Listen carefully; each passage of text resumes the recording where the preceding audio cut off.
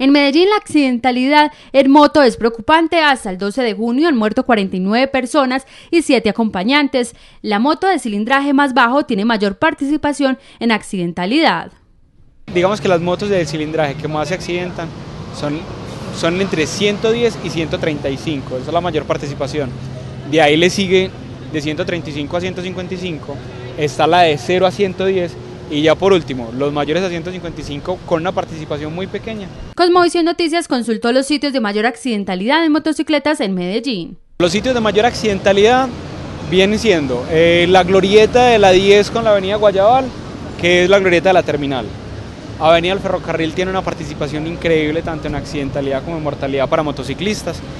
Va desde aquí, desde la Alpujarra hasta la minorista, eh, la, regional pues hacia la autopista y también la 65 a la altura de Castilla tiene una alta participación en mortalidad. La Secretaría de Movilidad está sensibilizando a los motociclistas con el fin de evitar los altos índices de accidentalidad. Hasta la fecha se han logrado sensibilizar 2.300 conductores.